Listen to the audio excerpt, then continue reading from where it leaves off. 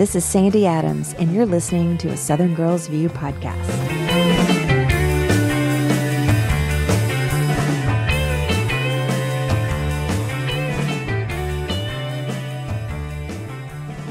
Beginning in 1986, a Memphis State University, and now the University of Memphis, went on an incredible run with eight consecutive national titles in the sport of handball, all led by famed coach Charlie Mazzone. Today on the show, I am chatting with one of those former handball champions, uh, Mr. Chris Jennings. Chris and I chat about him growing up in Toronto, his young days as an athlete, the majestic lure of Memphis State, his days as a linesman for the Central Hockey League, and why he moved back up to Canada. We also reminisce about the glory days of Memphis State handball, and there were some, and that little and somewhat unknown Memphis State hockey team, plus what recipes he's cooking up during this crazy year. So stay tuned.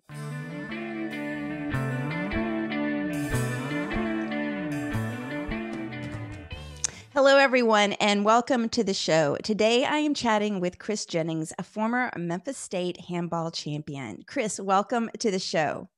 Thanks, Sandy. Thanks for having me. Great to great to be here with you. I've heard so many great things. all good, I hope. All good. All good. Um, so this uh, you know, I always part of the reason I started the podcast was really I wanted to I have so many great friends and so many interesting stories that they have and, and lives and have gone on to do great things. And I always love any chance that I have to showcase the University of Memphis or what used to be Memphis State back in the day. And so we have actually never met. I, I don't think I've ever met you. Um, I knew more of the racquetball players than I did the handball actually i'm going to confess i never heard what handball was until i came to memphis state. Never i actually had never heard of racquetball either.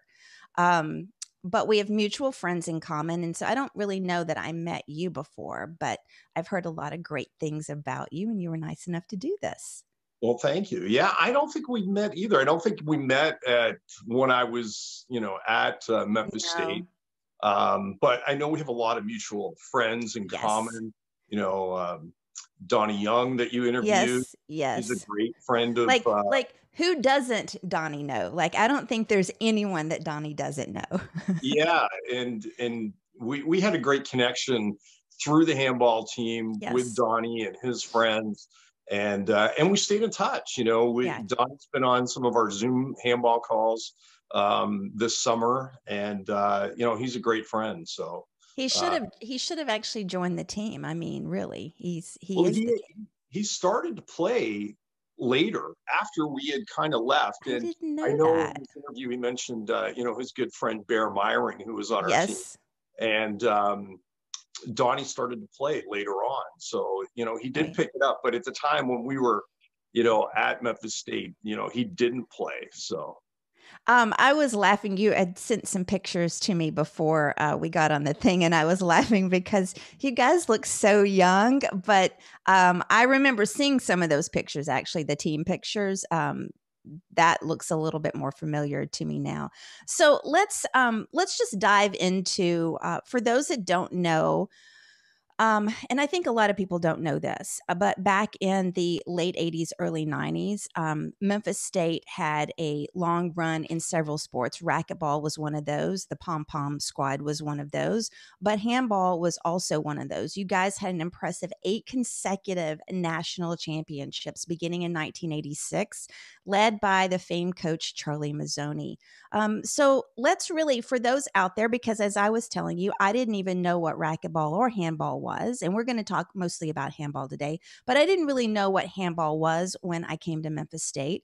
And for those out there, I mean, I know the word handball, obviously, you're playing with a ball with your hand and stuff, but why don't you just kind of explain maybe a little bit what the sport is and how it got started if you kind of know any of that? Well, handball is the the oldest game played with a ball. You know, it was basically you know played um, you know, there's early records of Roman or um, yes. Egyptians playing, right. you know, with a ball against a wall. And the game, you know, has evolved around the world in different areas. But the modern game of handball that, that we play really started in, in Ireland. And oh, I didn't know um, that. Yeah. Ireland is, you know, has something called the Gaelic Athletic Association, yes. the GAA. And their three major sports are Gaelic football, hurley, and handball are the three sports that make up the oh. GAA. And um, you know, the game was really brought about in the in the counties of Ireland through the church. And um, the church, the priests, when they came over to North America, they brought the game of handball with them. And, you know, courts were set up, you know, around parishes and things of that nature. But the game, you know, kind of picked up um, in, in, areas like places like New York City and Chicago and LA. Um, even here where I'm from in Toronto, um, it picked up in the the YMCA's and the YMH. Right. Right. Um, but it was really brought over by the the priests, and, and I was lucky where I where I grew up. There was a a Catholic seminary called St. Augustine's, and I actually went to high school um, right next to the seminary, and there was five outdoor courts that are reminiscent of the what they call the old alleys that were um, in Ireland. They're concrete structures. They're outdoor. Right or three walls. And um, that's how the game really came here. And then later on, they brought the game indoors and they added a fourth wall. And that's what we play. And that's the type of courts that we had in Memphis were four wall indoor handball courts. Right. And that's right. really the, the modern game. And and speaking of racquetball, racquetball evolved from handball because you know somebody said oh this this hurts my hand i'm going to put a racket to it and, and, that's really how racquetball because it was a little bit easier um, on your hands the the handball is quite hard and uh, if you haven't toughened up your hands it, it hurts you know do you play with a glove or do you play just barehanded so we play with a glove. It's a it's a thin leather, usually a deerskin leather glove, and really the glove isn't so much to protect your hands as much as it is to keep the ball dry. So when the oh. ball gets wet, it doesn't take a true bounce and it can skip because it's slick. Okay. So that's uh, that's one of the reasons why we wear gloves because it keeps the the ball dry. So it makes a little bit, and it helps protect a little bit as we, you know, as I've gotten older, the ball hurts now. so I, I forgot to mention that you're actually a Canadian, um, and you are. Did you say you were in Toronto? I live just outside Toronto. I live about 40 minutes 40 okay. minutes east of Toronto, but I grew up, uh, you know, in the suburbs of Toronto and um, played my handball in Toronto. Um, and spent a lot of time right in the city. So, so um, let's let's dive more into. So you grew up there in the Toronto area, and when I was reading kind of your bio, which you were very thorough, and I thank you for that. Um, you played a lot of sports growing up, a tremendous amount. So, what were some of those sports that you played? Well, naturally, as a Canadian, I played hockey. You know, um, that was kind of my first real love, you know, watching guys on ice and skating right. around and hitting and shooting pucks. That was that was my thing. Um, but I, I, you know, was fortunate. The the place I grew up to play handball, I played uh, my dad actually worked at uh, what is now the, the JCC. Well, back in the day, it was the YMHA, the Young Men's Hebrew Association. Oh. It was big handball club. But I learned to play basketball there. Um, it was another big love of mine growing up. I played high school basketball. Um, and then in high school, I, I also transitioned to play rugby. Um, and we had a great rugby team. Right. I played baseball. I played soccer. I was kind of an all around. Um, you were. comes you to were. all those different sports. So, and, and handball helped me a lot with that because the hand eye coordination, the footwork um, that you gain in that sport really helps you in all your other sports. So, um, that was a big help for me. So, how did you transition? Because you ended up going to college at Memphis State, and I believe you were recruited. And I know that you had said there were some Canadians that had come right before you. But what was the big thing about Memphis State being the mecca of handball right then? And why did you choose to come there? Well, so I was the sixth Canadian to attend uh, Memphis State and play handball there. Um, in total, there were eight Canadians, so there was two more after myself. And handball is a small community, and you know, I had played at, at, a pretty high level in junior and played at the U.S. Junior Nationals and and competed, you know, really well. You know, top four, you know, in North America in my age groups. And a lot of the college coaches, though, back then, they didn't really go to the junior nationals and and kind of watch the players. It was kind of odd. So the Memphis um, connection was really all through the players. So um, the first Canadian to attend Memphis State was a guy named Robert Larhoven, was from Montreal. Okay. And Robert had met um, one of the players, a guy named Rod Pagello, who was from New York and they had met at a tournament and rod had had spoken to robert about you know you, you, should come check out memphis state we've got a great handball program there and coach mazzone and robert had family connections in atlanta so robert you know he he came to um, he came to memphis state and he was one of the you know one of the top players around at the time and and then he went back to montreal and he recruited a, another gentleman by the name of sean massey Okay. And um, Sean was the second Canadian. And then Sean met a gentleman by the name of Mark Polgrabia. I don't know if you, Mark no. would have been there at your time as well. And so Mark is from the Ontario area. He's from uh, St. Catharines, Ontario, near, near Niagara Falls. Okay. And, and I'd known Mark as a junior. And so he was the third one. And then he kind of let, uh, there's two players, Jeff Cottom and Rob Pierce. Those are the names I know. Those, yes. Those are the guys you know. And so Rob and Jeff um, came at the same time. And um, and I stayed in touch with Rob quite a bit as a junior, and and we played in tournaments. And I had played Rob at a Canadian Nationals when he was attending Memphis State, and I beat him. You know, I just got to throw that in there for.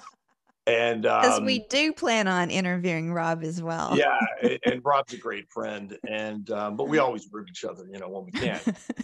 so, so Rob had stayed in touch with me, and he had he had said, you know, you should come check out Memphis State. And there was a few other schools that that had programs, but we I now had that connection with Rob and Jeff and Mark sure. and those guys. And um, every October, Memphis State hosted um, their their open handball tournament. So Rob convinced me to come down, and I'm I'm still in you know my last year of high school, and, and in Ontario you have five years of high school, not four. Oh so my God! I I was in that uh, my fifth years, and uh, I'm playing in the tournament or getting ready to play in the tournament, and I, I meet Coach Mazzone for the first time. Right. And um, the guys are kind of giving me a hard time because Coach was one of those guys who would just look you in the eye and tell you straight how it was and shake your hand and you know, son, this is how it is, and and he's giving me a tour of the campus, and uh, I'm enjoying it. And and we get back, and he's kind of saying. You know, um, you, you should think about some other schools as well. You know, Texas A&M has a good program. Lake Forest College in Illinois got a good program. I'm like, what is this guy talking about? Like, he doesn't want me to come here. I'm not sure. Now, he, coach had never seen me play. He he right. he'd never seen really all of us play until we got there. And um, so I was playing in the Memphis State tournament. I was playing a, a guy who um, was from the University of Illinois, a guy named Todd Headland, and Todd had beat one of the top Memphis players the previous year at Collegiate Nationals. Okay. So here I am, a high school player, and uh, I get Todd in the first round, and I beat him. And um, Coach Mazzone comes to me after the game. He goes, "I want to see you in my office, son." And I'm like, "What did I do wrong?" Right? You know, shut that door behind you, son. in the, in his office, I'm a little nervous. He, he, he wasn't a tall guy, but he was intimidating. Right. And, um, he looks at me straight in the eye and he says, "Son, forget what I told you yesterday. I want you to come to Memphis State." and that was it. That's all it took. And um, you know, he was really, you know, our, our father away from home. Right. You know, many of us had traveled, uh, you know, from all over Canada and the United States. So, yeah, that was it. So, you know, I I made arrangements, and you know, I wanted to be a, a tiger. And, yeah. Yeah. And we, we were very happy for you to be a tiger. I think you came there. I graduated in 90. So I think you came there. Yeah, so I got there in, in 90. I, yeah. I showed up in January of 1990. Yeah, I was gone. No, I, yeah. I graduated in December of 90. Um, okay. So, and there was something that I kind of didn't realize. I was looking at some of, uh, I was doing some research, and handball and racquetball are not considered sports so much like football and basketball. They're called like club sports. Is that correct? Yeah. So so football, basketball, baseball, they're all under the umbrella of the NCAA. Right. right? Where other sports at Memphis, like cheerleading, pom pom, um, racquetball, rugby, handball, right. even hockey, they were all considered club sports. Now, what's the difference? Well, they were not sanctioned by the NCAA, so um, which could be good. Which could be good, and so like for for guys like racquetball and handball players, there were pro tours that were that were happening. So right. we we could play in pro tournaments and we could, you know, earn money if we could at those tournaments and and not you know hurt our eligibility whatsoever so our sport was sanctioned by the handball the united states handball association was you know they would run the collegiate tournaments and they would you know set up the rules how the tournaments run. So that's who we played under. So that was okay. really the difference. And i think you know um because i'm a huge basketball fan and and you know there's been so much uh, speculation and spotlight on how the ncaa just kind of does all kinds of crazy things that um you know i don't see that as a bad thing that it's run by you know an association as opposed to and and and I do think that you know, I didn't plan for us to get into this topic, but you know, I do think that athletes have a right to earn money. They're out there earning money for the university. And although, you know, it's hard for a basketball player to go out or a football player to go out on a pro tour. They can't really do that like like you guys could. Um let's you know, the one thing that I noticed was, you know, after probably the mid 90s, Memphis State didn't really show up anymore as national champions. What do, do you can you tell or do you know anything about what the decline of that was? Like what happened to that? So so really what happened was with coach coach Mazzone after I want to say the 94 95 season um he he decided to to step down. He he'd right. done it long enough. He he was still, you know, on staff and faculty at the university, but he passed away um, just uh, just over a year ago, okay. and uh, he battled cancer. Um, it was a huge loss for all of us, and um, yeah, he he he had kind of had a, had his time with the, right. the with coaching the team. Uh, Rob Pierce um, was a grad student and he tried to kind of take over, but there was some politics that he wasn't, you know, faculty. Right. So he really, they didn't, they didn't allow him to coach. And um, so really the program just kind of faded away, unfortunately, um, without, without that leadership. And, you know, Rob was focused on his career and sure. uh, eventually moved to Chattanooga and there wasn't really anybody left uh, to take over the reins from from Coach Mazzone. So the the program just kind of faded out, and right. um, you know, racquetball coach Lyles and the racquetball team continued to do what they were doing, but uh, there was nobody really there to step in to replace Coach Mazzone. Right. And um, and that's what happened to the program. It just kind of faded away.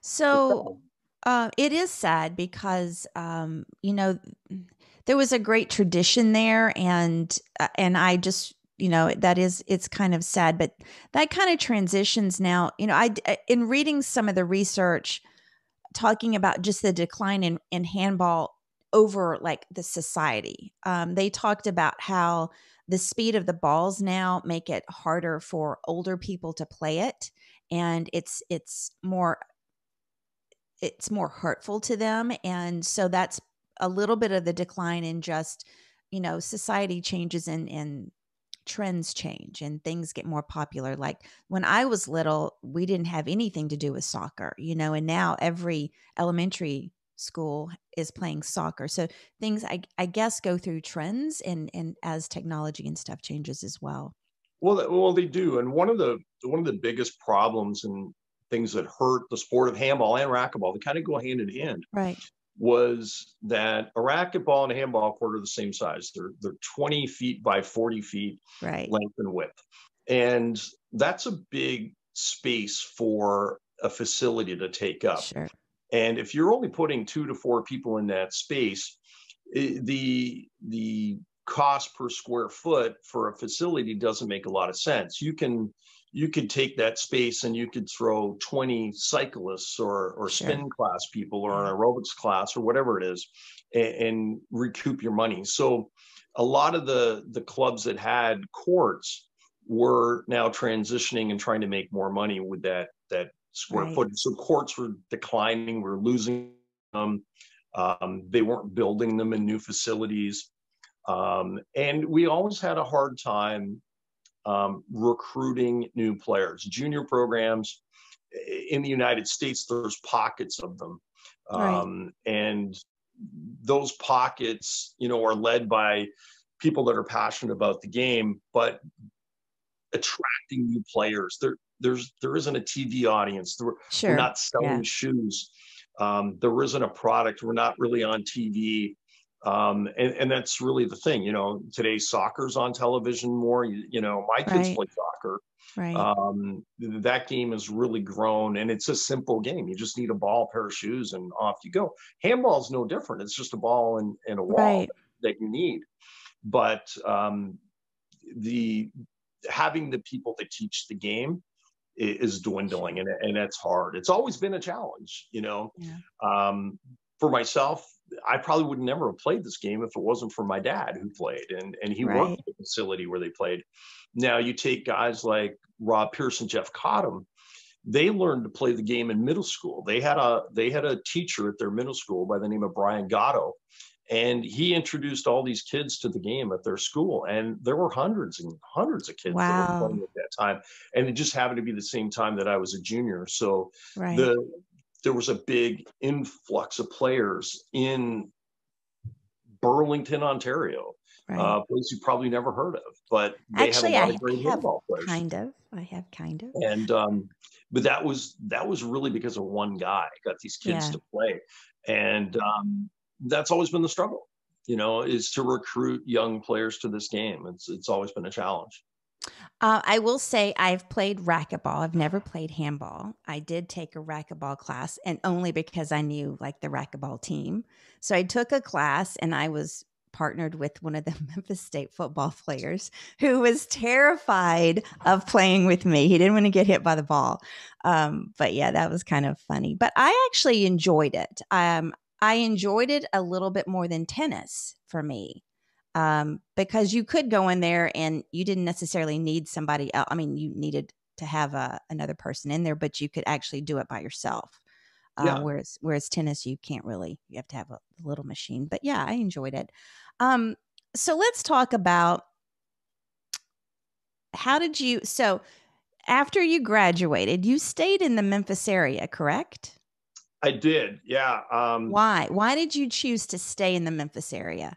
Well, I don't know really, but I, you know, I, I fluked into some stuff, and and one of the things that, you know, of all the things that, uh, of all the places to to come back to play hockey, was in Memphis. And right. while I was playing handball at Memphis State, I got approached by um, a guy. I don't know if you've heard of him. Uh, uh his name is uh, Billy Garaffa. And Billy, um, I have, I think. Billy yeah. went to Christian Brothers. His brother Dave played football for Memphis State. Okay. So, so Billy and Dave in 1992, um, the Central Hockey League had started back up, and the Memphis yes. River Kings were coming to yes. town. And um, so I'm at handball practice, and I'm I'm walking out of the courts to go get a drink of water in the hallway in the HPER Building and Billy knew me. We had we taught swimming lessons on South Campus, and and Billy's a redheaded Italian from New Jersey, you know, that, that went to high school in Memphis. That his family moved to Memphis. So he sees me in the hallway. He's like, "Hey Jennings, hey, play hockey from Canada." I go, "Yeah, Billy, I I, I played hockey. I don't play right now." He goes, "Well, we're starting a hockey team." I'm like, what are you talking about, Billy?" He goes, yeah, yeah, we're going to start a, a, Memphis State hockey team. You want to play? And I'm like, equipment, I got nothing. But one of my teammates, um, the younger brother of Jeff Cottom, Donnie Cottom. Okay. Um, we were like, hey, Donnie, you want to play hockey? And Donnie's like, yeah. So Donnie drives back to Ontario and gets us hockey gear. Oh my and, God. Yeah, it's like a 15 hour drive home for him. And he goes and he gets his gear and we start practicing playing hockey at the Mid South Coliseum at midnight. Okay, right? that's and funny. Billy has got ice time for us, and we start playing. We've got. He, I'm like, I didn't even know anybody played hockey in Memphis, but I guess they they played at uh, the Mall of Memphis. Remember that ice yes, rink? Yes, yes, yes. So uh, they they played there, and so he he got some players, and he knew some guys, and next thing you know, we've got a club hockey team, and he's like, okay, we're uh, we got a bus, we're going to Dallas, and I'm like, so Billy and Dave have got a bus, and we're going to play SMU in Dallas, and and some other town. I want to say maybe Kansas State or somebody like that. Right. So so we all pile in this bus and we drive to Dallas and go play um, the first ever hockey games in for Memphis State. Okay, and, that's um, funny. It was very funny and um, hard to believe, did, but that got me back into playing hockey. So, did y'all win the game? We actually weren't that bad. I I can't recall if we won that weekend or not. We might have won one of two, um, but it was a start. And Billy had got, you know, he would get other teams to come in and and play us, or we would go on the road. And we played at schools like Kentucky, and um, I think we played University of Illinois Carbondale or something like that, and, right. and played um, UT Knoxville, and he he would find games for us, and and we would play these games, and we we would play after River King games. So and I midnight. went to River King games. I just don't remember. I don't remember Memphis State having a team. Yeah, so it, it started was '92 because okay. that's when the River Kings came back. Right. So after playing hockey for about a year or two, I got approached by a gentleman who said, Hey, we've got a youth hockey program here and we need some help. And I said, Okay, well, what's going on? He said, Well, we need coaches and we need referees. And I said, Okay, well, tell me what we need. he says, Well, if you're going to coach, you'll volunteer your time and help out, you know, with our teams. And if you referee, you know, you get paid. I said, Whoa, whoa, stop right there. I get paid? Okay. so again, I my roommate Donnie, I said, okay, we're gonna we're gonna be referees. He's like, what are you talking about? So and you were still a were you still a student at Memphis State? Yeah, I, yeah. At that point, it was still a student. Yeah. Okay. So so Donnie and I signed up with USA Hockey, and we we went to the referee clinic, and we got certified. Well, Donnie and I were probably the two best skaters out of all the referees. So we we learned how to referee, and we worked all the time. And so the youth would play on Saturdays and Sunday at the Mid South Coliseum, and Donnie and I would go and ref ten games a day. Wow! And, and that kind of continued. So from there, um, you know, the Central Hockey League, uh, the way they work, they would hire referees that would travel around, you know, through their league. Sure. Um, and but the linesmen who worked the games, they were local guys. So a local guy um, approached me and said, Hey, if I get you a tryout to go to the Central Hockey League officials camp, would you come with me? And I said, Yeah, sure, I'll go. So we go to Tulsa, Oklahoma, and I'm going to my first pro hockey officials camp. And I'm nervous and and it's like September and you know there was no ice in Memphis to really other than the mall to skate right. at. So I was kind of out of skating shape and I was I was like, oh, what's gonna happen here? And I get there and again, I was a strong skater. So I did really well. And I was like, okay. So they approached me and they said, and at the time, I've got a beard now, but back then I was wearing a goatee. Okay. And hockey officials, they they don't like you wearing, you know, facial hair. So I got approached by the uh, the director of officiating. He says, "Hey, um, you know, if we offer you a position, would you shave your goatee off?" I said, "My goatee will be off just after I hung up the hang up the phone." so, anyways, they they offered me a position, and I became a linesman in the Central Hockey League, and and shaved off my goatee. And I had opening night at Mid South Coliseum. There's like ten thousand people, you know, yeah. Coliseum cheer on the River Kings.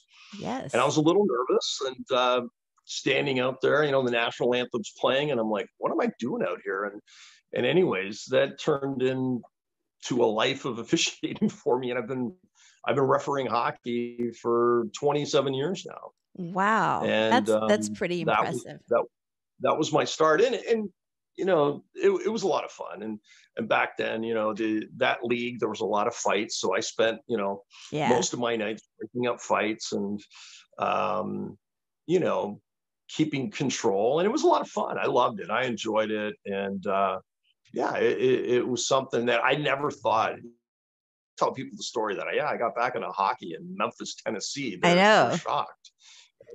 I loved going to those games. I had never grown up, obviously, watching hockey of any kind, and I really loved going to the River Kings games. Um, so, what then lured you back to Canada? Because you eventually went back to Canada. Yeah, I went back to Canada. I really, I didn't have much going on. There wasn't. I seen a lot of people in it. You know, in the late '90s, you know, Memphis really wasn't a happening place. I saw a lot That's of people true. leaving. I didn't really have much going on, you know, other than my officiating thing, but it wasn't really something that was going to keep me there. Um, you know, most of the Canadian guys, you know, they met girls from the South and, you know, got married and, and, and that was kind of their thing, you know, a right. couple guys that happened to. Uh, so I, I decided, you know, I was going to go back home and I'm going to, you know, see my family. I hadn't seen them in a few years because I hadn't been back that much and uh, start over. And I, I moved back and, um, you know, I met, uh, I met my wife um, the first week I was home, you know, just so, out of fluke. Can I ask how you met her? I always love those stories. At a bar. So I have another friend of mine who actually is a friend of Donnie's, Steve Cooper. I don't, you probably don't know him. He Not, was no, I don't know Steve. Um, he was older. He was in the Navy, but um, he took a leave of absence. Well, he took um, he'd come off um tour overseas, and he had a weekend, and he went to Canada, and he met his wife at a bar in Canada as well. But I always, always love those stories of how people meet. Yeah, um, it was it was kind of weird because you know I, I, I think I was wearing cowboy boots. I think that was it. You know, I was you know, like, who's with cowboy boots on? So, do y'all not wear cowboy boots in Canada? Well, they do, but not in not not really around the Toronto area. If you go out west, Calgary, and okay, and places like that, you're going to find a lot of cowboys. And, okay. Uh, you know, oh, hey, that was another thing. I don't know if you ever knew this, but did you know Memphis State had a rodeo team? No, I did not know that. Yeah, there was one guy and he used to come to the parties at the handball house and and he had his red cowboy okay. boots and he was the memphis state rodeo team back in the, i forgot about that guy can so, i just say that because we're all old now uh, the handball house in memphis was very well known yeah you know the was, handball uh, parties were very well known well well you remember right that Memphis State was and probably still is a dry campus, right? It is. No, it is. There was no pubs on campus. Like, it, you know, you go to university here in Toronto, there's pubs That's on right. campus, you know, and pub parties and stuff like that. And fraternities, right? Uh, the the fraternity yeah. rows were not like, you know, yeah. we would go to tournaments at LSU and we would see the frat houses at LSU and go, holy moly. Yeah, totally different. Yes. And the, the Memphis, you know, uh, Greek culture wasn't uh, as big as it is at some other campuses. So, you know, the handball house, we were kind of like an unofficial fraternity, right? And I and, still remember where it was. I yeah. never went to any parties because honestly, they scared me just a little bit. They were a little too they were a little too wild for me. yeah, and there used to be parties at Donnie Young's house. I went the first time yes. I went to a party at Memphis was at, at Donnie Young's house. And, uh, yes. Uh, I, will never forget my roommate Ken Crespi, who's from uh, Detroit, Michigan, Livonia, Michigan, and Detroit. Uh, Kenny's got me under his wing, and he says, "Don't drink the punch." I'm like, "What? No, don't drink the punch. Just stick with the beer. You'll be fine." I'm like, "All right." So we're there, and we're kind of the last people there. Goes, "Okay, now we drink the punch." I go, "Drink the punch." I said, "You said don't drink it." No, now we drink it. I'm like, "Okay." I couldn't get my head off the pillow the next day from that stuff. I don't know what Donnie and those boys put in that stuff, but it was it definitely did a number on me. Um. Uh, um. Okay, I just want to make this PG PG podcast today. Um. We'll but but um, and Ken Crespi, I I I was an RA in the dorm. Yeah, Ken and Donnie and those famous uh, scavenger hunts. Oh yeah, yeah, yeah, yeah. Um. Anyway, okay, so you're back in Canada, right? Dry, drying out, drying out from all exactly. the fun. Um, and and you continue to um you continue to do the the refereeing and like how did you transition your life you started ever you met your wife and then kind of what did you go into so yeah it was i I, I moved back and yeah, I didn't have a job. So the first thing I did was I went to a hockey rink and and I said, Hey, you looking for any referees? And and you know, they're always looking for somebody to ref. So this this it was a men's league, and they said, yeah, yeah, you know, right. we'll we'll take you on. And next thing you know, I'm skating all the time, and and it was something that you know filled the void until I I got back into it. And I had worked some retail background when I when I was in Memphis and right. uh, through through my hockey connections, and so I went and I I started um, in the retail game here and and was a, a manager at a few different places, mainly sporting goods. That was kind of the connection. Right. And um, then I transitioned into some some sales, and you know, kind of that's where I, I, I led down this road of sales management and and uh, retail. I started my own um, children's clothing and consignment store. Oh, uh, that's pretty on, cool. Yeah. Yeah, it was, it was neat. It, it was a lot of fun. It was uh, something that um, that I'd wanted to do. And and you know, whenever you start your own business, it's a little bit of a risk, right? Sure, so, sure. Um, my family was young. We had two young kids, and we started out. and We gave it a shot. And then I kind of lucked into what was probably one of the coolest jobs I think I've ever had. And and uh, a friend of my brother's uh, was working at uh, what was then called the Air Canada Center. So the Air Canada Center was where the Toronto Maple Leafs and the Toronto Raptors yep. Uh, played. It was downtown Toronto, and it was a 19,000 seat stadium. And um, they said we're looking for a guy to to help us do our overnight conversions, and that was changing the building from you know, hockey to basketball and concerts. And right. so I went and checked it out and uh, I said, yeah, I can do this. And so they, they, they had me shadow a guy for about a month and then they let me loose and let me, you know, I, I would have a, a, a, team of 25 guys. And you got to remember the Air Canada Center um, is probably the third busiest arena in North America behind the Staples Center and Madison Square Garden. Wow. Yeah. So we're talking about a facility. So my my first month there, we had 26 events in 28 days of February. Oh my so God. We we only had three days off. If it wasn't for the Spice Girls having back-to-back shows, we wouldn't have had that third day off. But that's how busy that place was, right? And it was constantly go, go, go. And the show must go on and you can't miss. And and um yeah, it was an exciting play. I got to see lots of great concerts. Yeah. Games, basketball games. I could go anywhere in the building and and um, you know, it, it was an exciting place to work. And um yeah, I, I enjoyed it. And then we had uh, you know NBA and NHL had some work stoppages yep. and labor disputes, and I was at a point where I was like, "Well, what's going to happen to my job?" So I transitioned back to um, working in retail, a, a, major wireless carrier in this company or in this country, um, a company called Telus, whose head head office was right next door to the Air Canada Center. So I started working for them.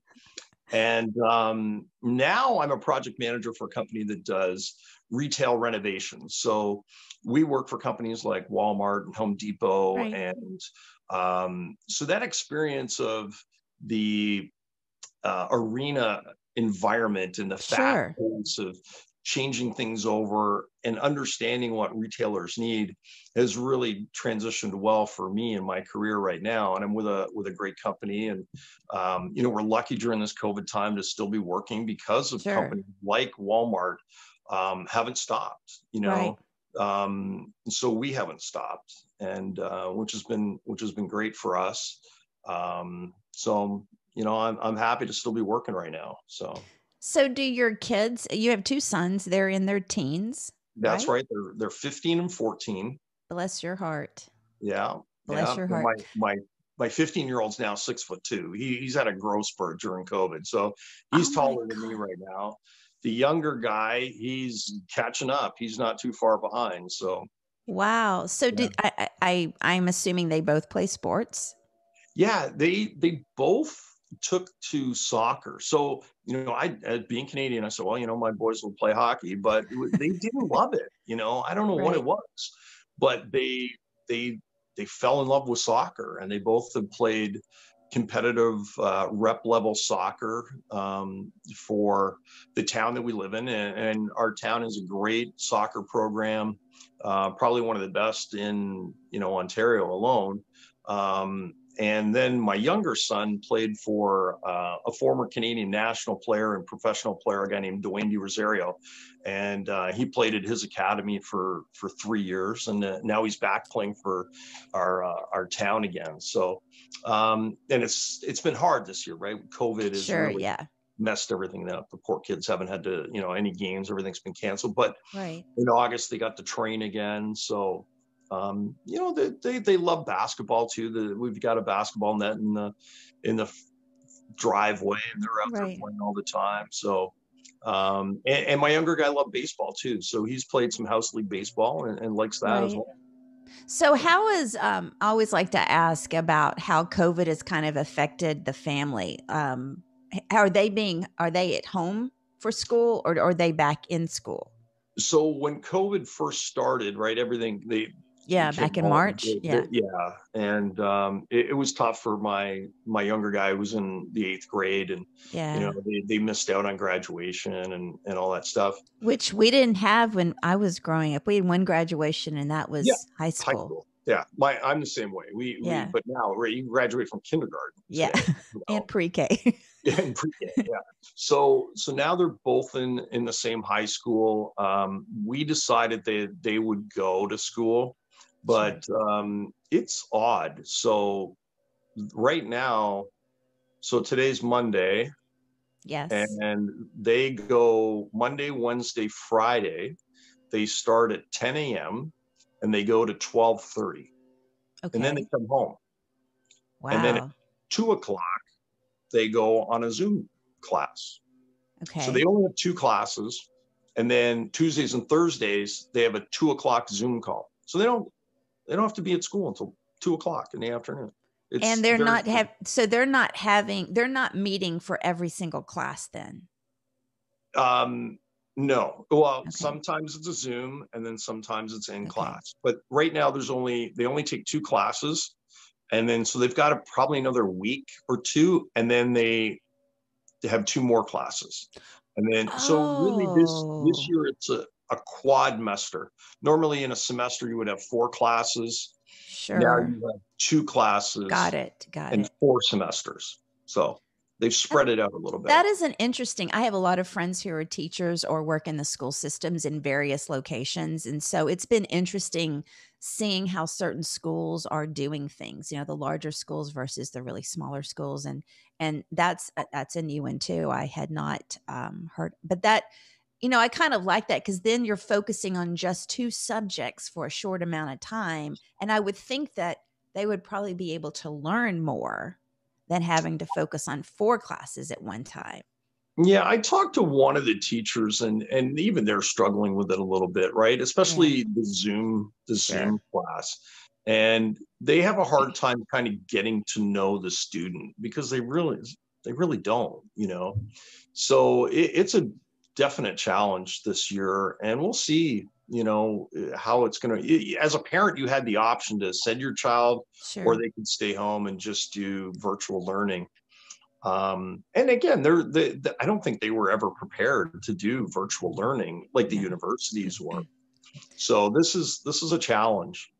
And not, you know, the the other thing that I've because I teach online as well, but um, I I teach for a nonprofit, and prior to March, we did all in person classes, and then when COVID hit, we immediately pushed to go online but not all of our instructors are comfortable. And I think that's the case with a lot of people. Not everyone's comfortable teaching on a computer system. Um, oh, absolutely. And, you know, the struggle for us, we teach adults, and the struggle for us was how do you get that connection? And you can get it if the people engage back but it is hard especially for children and the and the younger you get it it has to be hard because even even in high school, because that's what my master's was in was high school history or government. Even in high school, you've got teenagers that don't want to engage even in class. And right. so how do you get them to engage on a computer system or yeah. you know do anything so it's got to be incredibly incredibly difficult for for all those. So um a couple more questions. So do you stay in touch with all of your handball teammates? Yeah, you know, Facebook has been great, right? We yes. we've been able to stay connected um, through through Facebook, and most of the guys are on there. So right. um, this this summer when COVID hit, um, I kind of started getting guys to you know get some calls, and right. we would do a house party or Zoom, and and we, you know we would have some some calls, and and I also set one up for the the hockey guys too, right? So I have my you know hockey uh, Memphis State hockey guys as oh, well. That's cool. So I've done I've done both of those this summer. So I was kind of the guy that started getting that going, and we got most of the guys out, like Ken Crespi and Kevin right. Hill and um, Kevin Hill. I remember too. Yeah, Kevin yeah. Um, and Kevin uh, Fitzgerald was another guy. Uh, he's been out, but Mark Paul Grabia, Rob Pierce. Uh, we haven't been able to get Jeff Cottom to come on yet. Why not? Um, I don't know. You know, he's a busy guy. But uh, we we've we've had guys like uh, Dave McGrath, uh, Bear Myring, who you've uh, you know Bear's name from Donnie. I've um, yet to um, meet him. I yeah, have yet Bear, to meet him, Bear, but I've heard about him like since college. Yeah, and you know, there's um, you know, so we we have stayed in touch, and a lot of us, you know, we still play handball. Most of us do, anyways. So we'll meet up at tournaments. You know, maybe play together. A big tournament that we used to go to a lot was in uh, Toledo, Ohio, every Labor Day weekend. Right. And we've all kind of gone there. Some of the guys have gone to the World, so um, it was Matt Hyber and, and Kevin Hill played in the I want to say the 45 plus division of the Worlds in Minnesota uh, a couple of years ago, and they won. And um, uh, Jeff Cottom came back. He he had kind of really stopped playing after college, and and right. uh, him and Rob uh, teamed up again, and they played in in um, the Worlds and a lot of us, you know, that's kind of where we'll meet. We'll meet at a tournament, and yeah. you know, we we're all kind of spread out, all back over. You know, there's guys in Atlanta and Knoxville and Chattanooga and Chicago and Indiana. They're, so they're, we're all kind of spread out, but we we'll we'll get together. And we we've had reunions back in Memphis. You know, especially when Coach was still alive, and right. you know, we would do that. And now we're talking that we may meet up at Donnie's place in Mexico.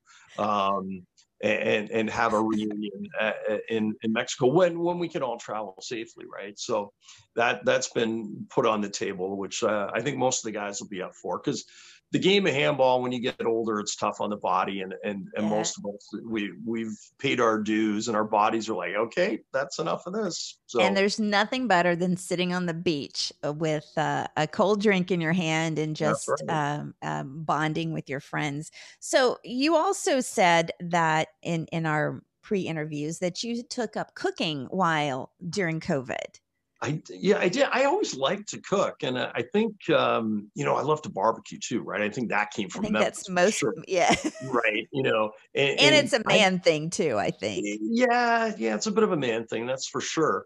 Um, but you know, when when I experience, you know, like Corky's and rendezvous ribs for the first time, and you know a uh, three little pigs pulled pork sandwich on uh, on Highland. You know, oh my and, god, yes. Right?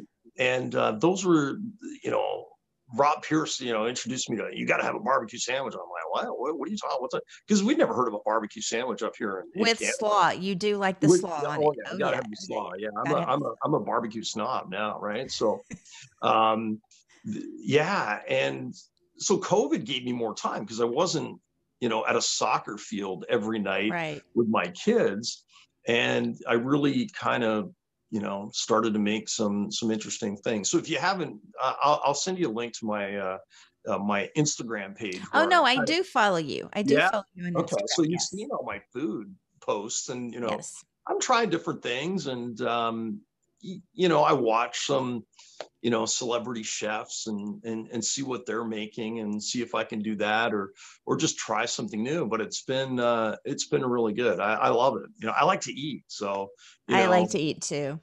And um, yeah, I'm learning new techniques. I, I, made my own flour tortillas this year, which I never thought I'd try. Oh wow! I made uh, Indian naan bread, which are kind of like tortillas, but the, a couple of ingredients are different, so they're pretty simple to make. Yeah. Um, yeah, I tried some stuff like uh, you know through handball. I, we had a we had a teammate that was from San Diego, uh, a guy named Dave McGrath. So we went out to San Diego to play in a tournament one year, and you know I got introduced to like carne asada yeah. And so I looked up how to make carne asada and you know it was pretty simple and oh my god it was so good and i hadn't had it in forever you know? And and, and toronto has really you know it, it, toronto's a real multicultural city so we have a little bit of everything so right the barbecue world is now here. So there's a lot of barbecue places that were never around before. Uh, I got a place I can walk to just around the corner that does the great Memphis style ribs. Oh and, my god! Yeah. And then and there's there's all these things happening and and a lot more Mexican. You could never get Mexican food here other than Taco Bell, but now there's authentic Mexican yeah. places that are that are popping up. So um, you know, there's a little bit of everything now, and uh, that was never here before. I will say I just moved back from to here from to Tennessee from Houston and I got to tell you one of the I mean Houston has great seafood and has great Mexican food and um but I missed I miss Memphis food like I miss the barbecue. Um, and it's I, different, right? That, that it is. It is. And barbecue Texas barbecue are different. Oh my God! That When I first moved there, they talked about brisket, and I had no idea what brisket was. And then they're telling me, well, it's like the butt of a cow, and I'm like, you don't barbecue cow, like you only barbecue pig. That's not real barbecue. But That's yeah, right. I mean, um, I, I really, I really miss I miss the Memphis food, but it's also I think the culture with the food. I think That's that right. for me is just you know it's I it's just such a, a, a, big difference. Have Have you brought your wife and kids back to Memphis at all? Uh, I have not. No. Um, well, we've been busy. I guess. You, I, I definitely want to make that trip. Now, now, granted, I did take my boys on a road trip. We did Nashville and Chattanooga. Um, just me, just me and the boys. We had a little bit more vacation time, right? And in the summer, so we we went and saw some of my friends, my hockey buddies that right. now live in Nashville, and then we went and, and met uh, and stayed with Rob Pierce in Chattanooga. So That's they, a really nice drive for them. I mean, that really is a really pretty drive down. Yeah, it is. It, it, it was a great time, and they were great on the drive. And they were a little bit younger. I was probably five years ago when we did it. Right. So, um, they they they enjoyed it. They had a great time. The, you know, we saw some amazing things and tried some great food and and um, you know, Chattanooga is a great outdoor city and it is. You know, um, it is. There's a downtown. There there was a a great rock climbing facility that was attached to a parking garage. So they had this rock climbing wall on the outside of the building.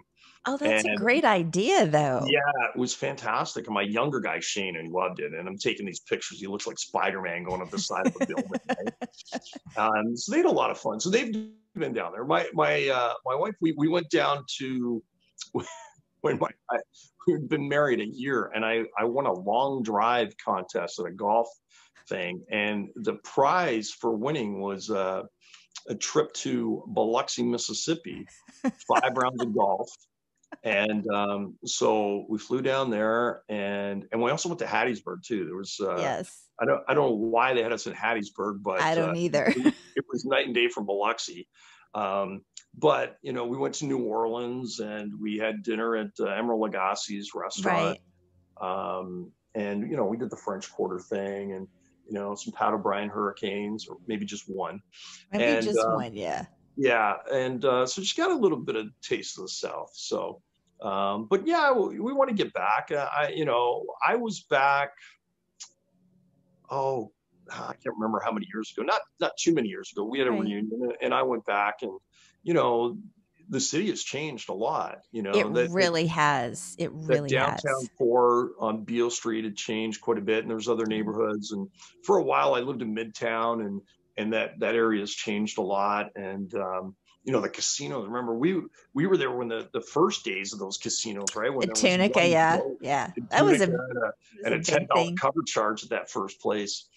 Um, but uh, yeah, it's it's all it's all changed in downtown, and the baseball diamond is is great AutoZone Park, and yes. you know they got FedEx Forum Arena right downtown now.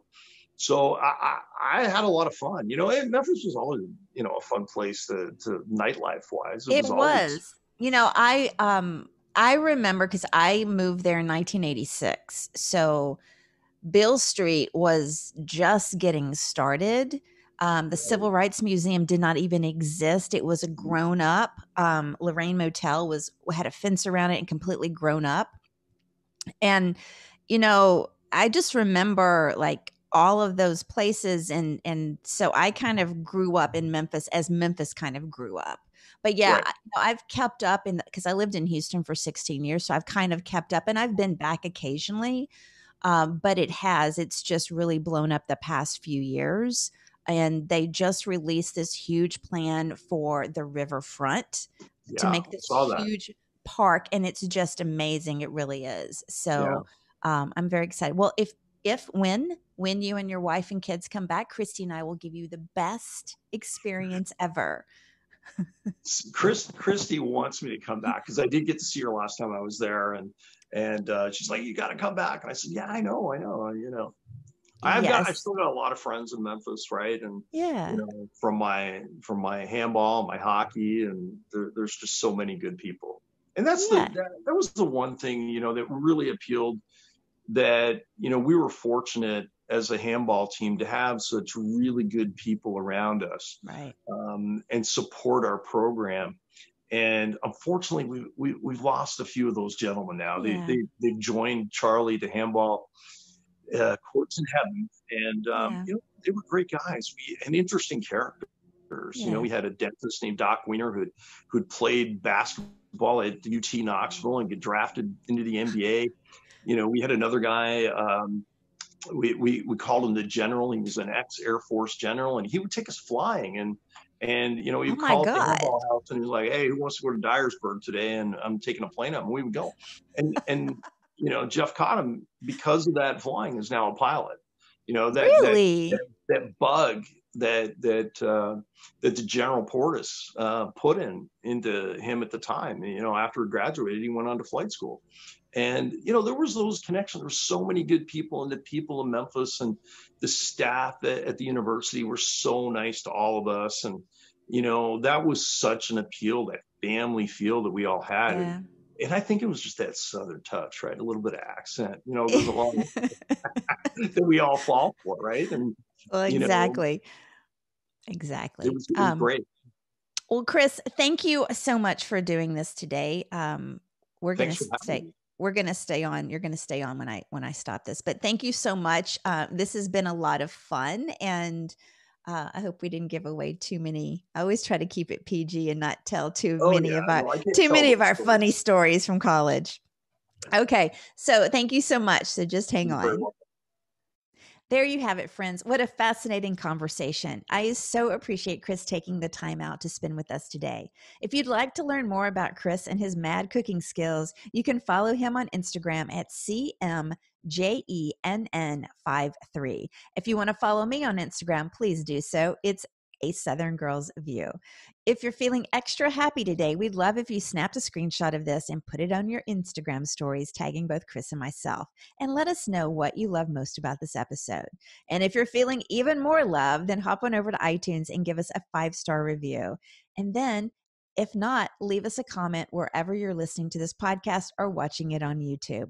So that's it. Until next time, have a fantastic rest of the day.